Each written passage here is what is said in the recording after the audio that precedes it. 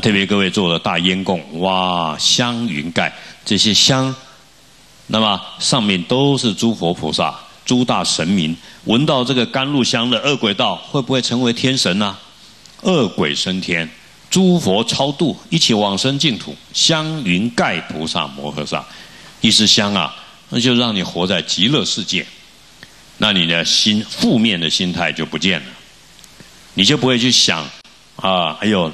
就像一个人想要睡觉却睡不着，他就是很想说：“我赶快睡觉，怎么会被他拉去？”这个叫修行。修行你不要有负面的心念，我喜欢他，我讨厌他，我想要这代际的就做的，那那代表你要吃安眠药了啊！你要赶快念佛，转变你正面的念头，这个叫修行。修行到你砍我的身体，我都不会痛，不是不会痛，心里不会痛。修要修这个心呢，叫禅定的心。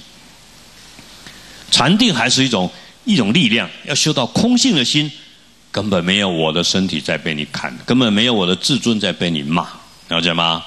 现在你十八岁，我跟你，嘿，变八十一岁，那正好念佛往生净土，啊，免得嘎抓高压打刚来催我，对不对？男人来找你，你觉得你很快乐，业障啊，啊，所以。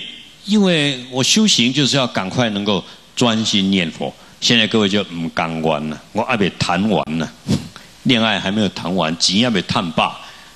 啊，当我被戏啊，再来短期出家呢。啊，所以有时候，呃，你会觉得你看不开，要我啊开什么玩笑啊？我马上短期出家，对不对？哪怕呃没有七天，也三天也好，一天也好，你要争取嘛。要对你对三宝的信心，好，我这样简单的讲解，希望各位要这样跟别人讲解。你要懂中文，而且你要有思维分析的能力，你要有善巧方便，怎么样让别人对三宝升起信心？所以地藏王菩萨辩才无碍，那这个辩才来自于慈悲智慧啊。那各位你要懂得。跟自己讲话，这个叫禅；再来跟别人讲话叫慈悲。所以《心经》你会背，你会念，那你要把《心经》的意思好好的去闻思修，这个《心经》就让你达到空性。那这个空性安住在空性，心无挂碍。然后如何把这个心无挂碍分享给别人？那这就是慈悲了，讲解给别人听，用身口意展现给对方看。这是大乘最重要的修行，劝进行者。所以我们新加坡福报很大，那可以听中文，可以听英文，啊，所以很多上师来会讲英文，各位也可以听到佛法。但是各位要发挥你的语文能力啊，那把这你会讲的也去跟别人分享啊。那你不要光吃饭，只要有机会聊天，就跟对方分享佛法。那这个佛法，如果你已经入心了，讲出来变你的不一样。哎呦，你这个人真慈悲，而不是嘴巴慈悲。啊，你这个人呢，真有智慧、无爱、自在，而不是嘴巴的空空。哇，结果肚子饿就不空。啊，一受到侮辱就不空，他就会起烦恼。那如果你能够正入正入法性无生法忍，又能够对众生有平等大悲，那就是极乐世界再来的人。阿毗跋致菩萨广度众生，那这个你要透过你的身口意去表现。第六页，各位既然已经诚恳、精进、申请要皈依三宝，可尔，这个时候不是为我们了，念一下：思为众生苦。升起大悲心，愿轮回无名有情众生，同来道场，皈依三宝，离苦得乐。大乘就是没有自己，时时刻刻想念的是众生的苦。我讲，就像各位，你儿子感冒了，那你心里一直意念着他；你妈妈生病了，哎呦，心里也一块石头啊，很痛苦。就希望妈妈不要有一点点的痛苦，那这个只是一个凡夫的正常的心态。就像各位看网络，哎呀，小狗死了，母狗会母狗会哭哎，对不对？猴子死了变成尸体了，猴妈妈还抱着，啊，这是人之本性，众生都有这个本性，只是这个本性如果没有智慧，它变成一种执着；如果这个本性变成一种智慧，那任何一个众生苦，包括你刚刚杀掉我儿子，你在生病，我心里都会很痛，都想要救你。为什么不忍众生苦，而升起大悲心，愿所有。还在轮回不了解三宝因果的，皆来道场皈依，要升起这个想法。一切都是为众生，所以为汝等传授三皈依。所谓三皈依者，就是指我们回向依止过去我们归外在的一切变化无常。我们现在了解了，所以回头。依止叫皈依，所以佛法生三宝也。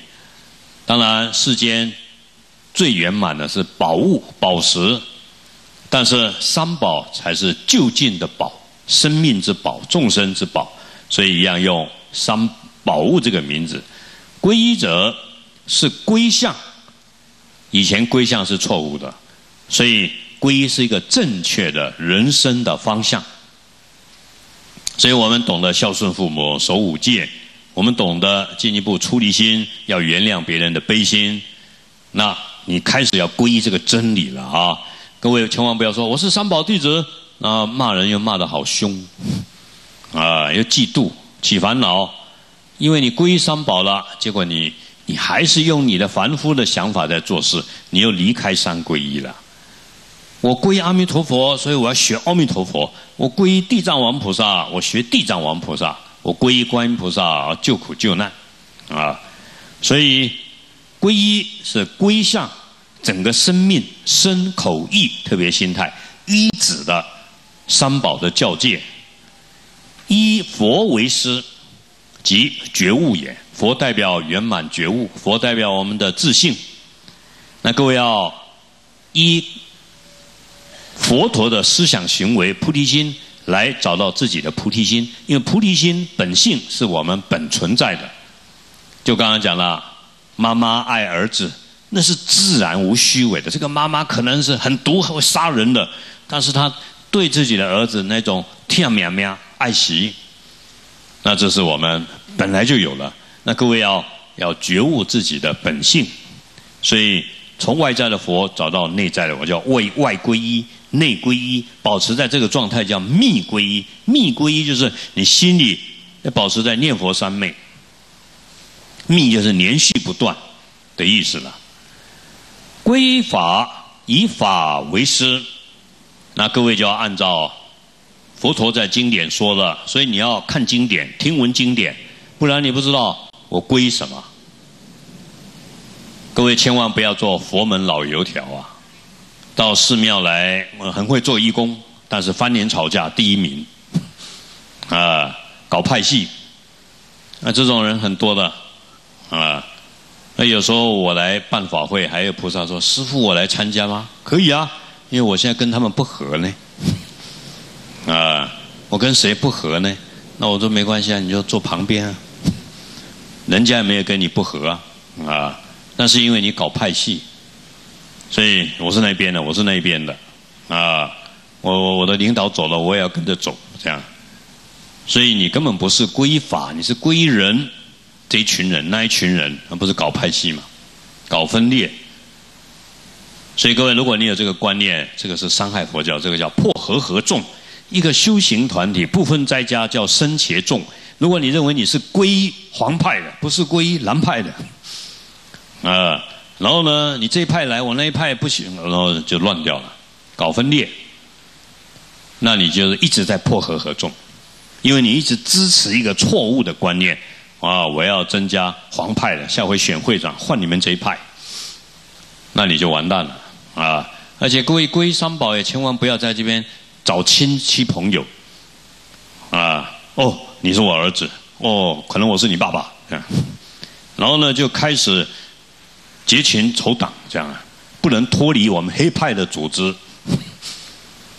所以你跟我好，我跟你不好，那这些问题，这个都不是了解佛法的人。了解佛法就要放下这个对立，所以很多人要出家，出家不容易啊！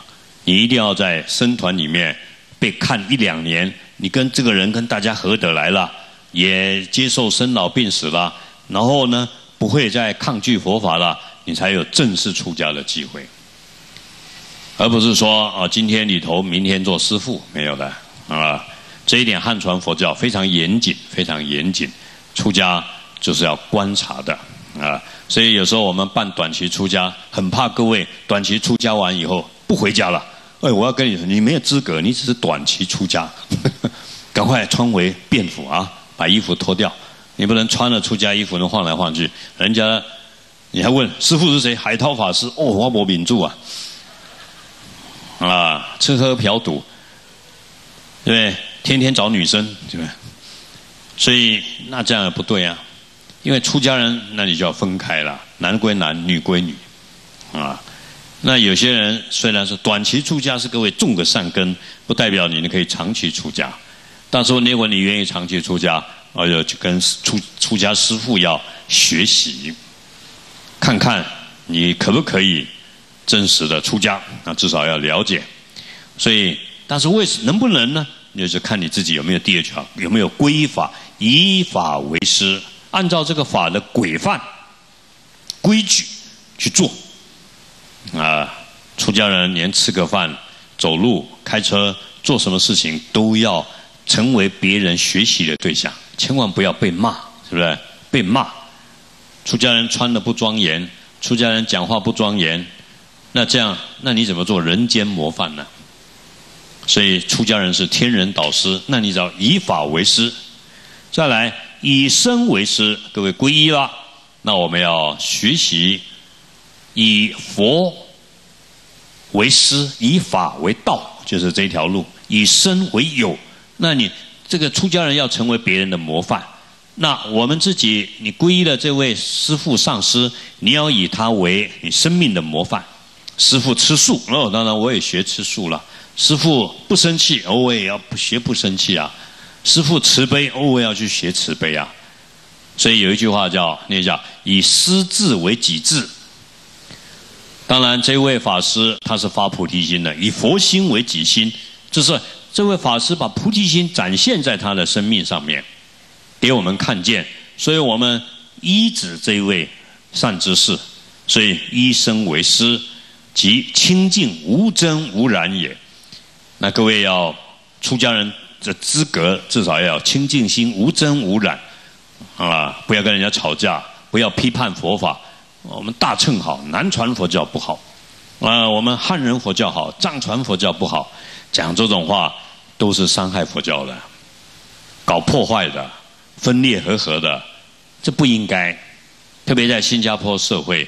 我认为新加坡南传、汉传、藏传所有的法门，要感谢新加坡政府的这样子的护持各种宗教，不分天主教、基督教，所以新加坡很和谐的，对不对？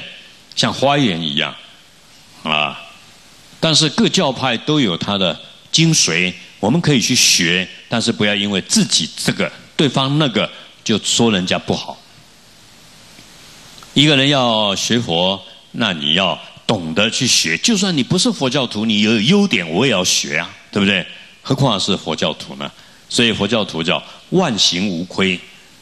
但是各位，你不会科学，你不是博士，你不是演唱家，但是我们随喜对方的功德，因为你将来要成为佛，你不会唱歌，没有做过政治，没有做过科学，你不能成佛的。成佛呢，要世间法要圆满。只是不执着世间法，还用世间法去帮助众生，这样而已。世间法就是插花、音响啊、摄影啊、声音啊。难道佛教讲空性，然后就毁灭所有世间法吗？不对的。啊，佛教讲的是万法的本体都是空性，善巧方便使用世间法去帮助世间的众生，而不是我们所谓出世间法，不是脱离世间，啊，是不执着世间。今天要办法会，没钱可以办法会吗？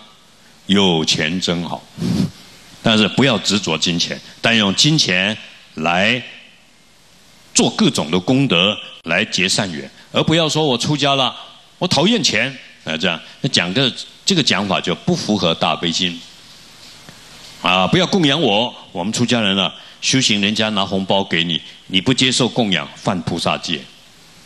为什么众生要种福田嘛？那钱也不是给你的，给菩萨的，对不对？你是菩萨嘛，所以我供养你，你替我去供佛斋生吗？做好事吗？是这个想法。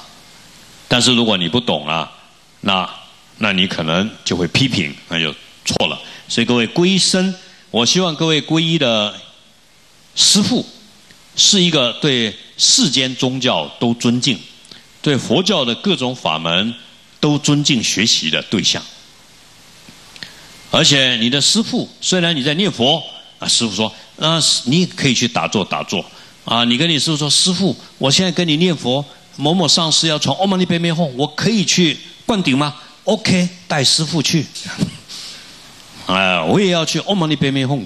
哎呦，这个师父伟大啊！所以汉传的蒙山，藏传的烟供一样，对不对？那只是因为念法不一样，但是动机一样。所以离一切相，离开法相、我相、人相、众生相，连这个法执都不能有。万法都是佛法，只要动机符合慈悲心、空性，都是佛法。好，所以一生为师，其清净无真无染。我今天花比较多时间讲解，我就认为一个人对于皈依三宝要负责任。而不是人云亦云，和你皈依我皈依，大家一起来皈依，然后一起来吵架，然后呢翻脸的时候都无法可寻呢，啊，所以这个是不好的。就像各位你要结婚了，想清楚没有？要结婚了，那你要包容，要忍辱，要接受。那你结婚以后在那边讲后悔的话，叫你离婚又不要啊，所以那你就是你不了解结婚的意义在哪里。所以，结婚嘛，本来就女人婚，那么不要叫结婚，啊啊！但是你要知道，结婚是要去度对方家财两婚，那你去吧，啊，渡到他去出家了，那我正好出家，可能你跟他有这个缘吧，可以啊。但是你的动机不再去追求对方对你好，如果你追追求你所谓世间的幸福，那你就会觉得很痛苦。好，所以。即今依此住持三宝，佛像、经典、出家人，让我们看得见了。这叫住持在这个世间，而会归理性三宝，觉性、法性清净啊，归觉、归真理、归清净。然后呢，把三宝成为你的生命。汝等既知三皈依的义理，则应当先礼请十方三宝。所以各位，我们今天把十方佛法僧三宝都请下来，告诉他们：我们皈依你们呐，对不对？依止了三宝，而不是依止一尊佛。有些菩萨说：“师傅，我是拜这一尊的，你是拜那一尊的。”佛佛道同，什么不同尊？啊，所有佛都是释迦牟尼佛讲出来的。九皇大帝是不是佛啊？药师佛显现了，你不要看他。佛菩萨伟大呢？你乞丐，我跟你做乞丐，我度你。啊，所以佛教百千亿化身，你是人，我也跟你变成人来度你，跟你一样要生老病死。所以佛会用各种的方法去展现。各位，这个观念很重要。你看到一个小小的神明，你都当做他是佛，你把他当做他是佛，他就变佛。这就是众生皆有佛性。小小的神明，你更尊敬他，他更高兴，很快他就皈依三宝。但是你看不起他傲慢，呃，这个神明说：“你看你们拜佛的多伟大，你自己伟大吧？”他看不起你。所以学佛以后，千万不要看不起土地公啊、地基主啊。各位家里有没有在拜地基主？有没有？我这样问好了，没有的举手。你还真举手，赶快回去拜。地基主你不拜，你这个人不知感恩。这个房子就有一个地基主守护在那边，认为房子是他的，你去住人家房子，谢谢你。就像祖先的坟墓旁边要不要摆个地基主啊？托地公，你不拜土地公怎么拜坟墓呢？你把你把祖先坟墓放在那边，感谢土地照顾啊！连死了都要拜，你活的还不拜？所以再问一次，家里不想拜土地公的，请举手。那都啊，回去拿个纸牌子也没关系，纸牌子放在那边，土地龙神，初一十五摆个面包啊，对不对？台湾人说马吉最好啊，因为老土地不吹气啊，马吉 啊，放一杯水饮料，哎呀，家里会不会发财啊？发财，你照顾我，我照顾你。你们大楼没有管理员，你很穷哦，住那个没管理员的大楼，啊，所以。那你你拜拜土地公，感谢他。我们是皈依三宝，土地公成为佛教的护法，这个很重要。好，所以各位了解了，应当先请十方三宝以为依护之尊。从今天开始，老公、老婆、金钱、儿女不再是你依护之尊了，想了解吗？因为你皈依三宝了。那对老公、老婆、儿女呢，尽力而帮助他们。这是我们的因缘责任，但不是你皈依的对象。这样听懂了吗？听懂了。土地公也是我们感恩的对象，但不是依附的对象。所以有人问我说：“师傅，九皇大帝可以拜吗？”在家可以，出家不能跪。虽然九皇大帝搞不好是佛，但是他故意要显现世间神明被斩头没有头来度众生，他视现的。所以他喜欢这样视线去度众生，所以我们心里知道就好。那在家可以礼拜，出家不礼拜。就像二十四护法诸天是佛菩萨来的出世间护法，但他视线外向是在家相，留胡子，对不对？拿武器，那你出家就不能跪拜这样啊。但是心里了解就好。那这些佛教规矩啊，各位还是要了解去看啊。所以有有人跟我批评说：“海涛法师，你现在从佛教已经跑到道教了，一下三代祖师，一下五九皇大帝，再来呢太祖爷，啊，济公，那你怎么都你变了吗？然后去欧洲、美国，天天拜圣母玛利亚，点香，耶稣基督，那你在干嘛？哎呀，我说你有偏执啊。”我们是怀着悲心到天主教堂，先请湛江法师念玫瑰经，我们再来念心经，大悲咒，最后回归三宝。你也要去度众生啊，那里面有有众生啊，那些让圣母玛利亚功德更大，对不对？让他福报更大，那多好呢。所以我想这些道理各位要了解，但是心里面知道。啊，今天我做会长，明天人家把我干掉，随缘。因为我是皈依空性慈悲，不是皈依会长。如果我出家了，我还在乎这些位置，住持会长，那你等于没出家，你还有家，你被关死了。所以出家的意思是出离约束束缚，得到自由自在，还可以去帮助众生。再来次。对一切万灵而作正言之主，这万万灵就是这些城隍爷。听说我们新加坡城隍庙很大，各位有时候要去拜城隍庙。城隍庙呢，这个大城隍也是佛菩萨的化身。你身上有一个鬼，晚上睡不着，或是你朋友看他脸色发黑，好像有个冤亲债主，这个就要去找城隍爷了。城隍爷呢，有些道教的讲法，这个人拿黄旗、红旗，啊。粉红色的，就是要来要他命的，这个叫死亡令旗啊，讨债的。这个时候谁也解不开，那你就要去找城隍爷做主，然后呢，然后自己跟那个冤亲债主忏悔，城隍爷答应帮你做主，那你只要把功德忏悔完，这个他就超度了。所以城隍就是像法官一样啊，主持对错啊，因为世间的讨报，那这些呢，就成为世间的万灵，成为我们的护法。正言之主，保护我们修行受戒，一直到成佛，包括上帝、玉皇大帝，一直保护悉达多太子，对不对？从出生到涅槃，没有这些上帝，没有四大天王，释迦牟尼佛出不了家的，都是如此。这我们了解。所以汝等起立合掌，自心做观，要从内心里面观想十方诸佛菩萨、所有神明啊，特别这一次大家皈依三宝，九皇大帝做我们正言之主，保护我们受戒啊，所有神明，但是不是为我们自己啊？带着父母祖先六道众生要观想，皆来到场，发菩提心，皈依三宝。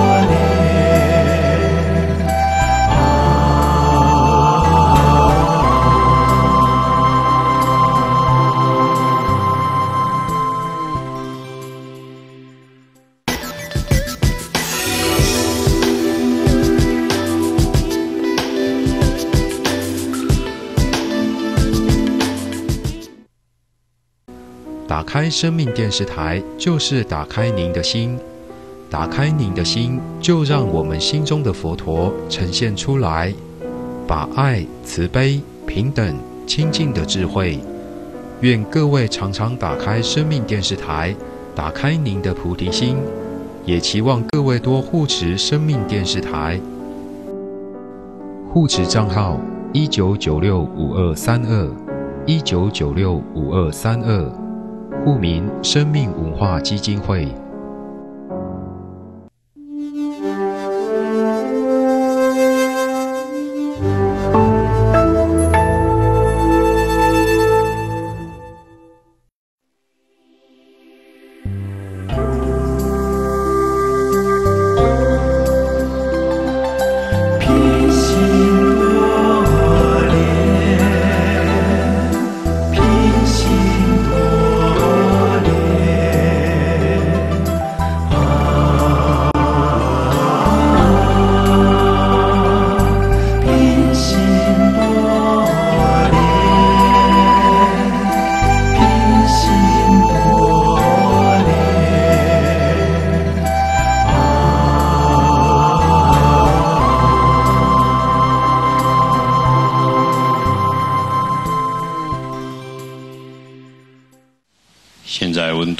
三十七度，在半度跟我们身体一样啊，